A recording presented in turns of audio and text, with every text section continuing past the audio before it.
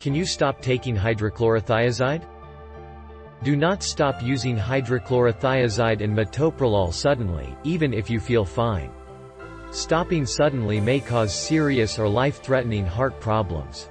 Follow your doctor's instructions about tapering your dose. Store at room temperature away from moisture and heat.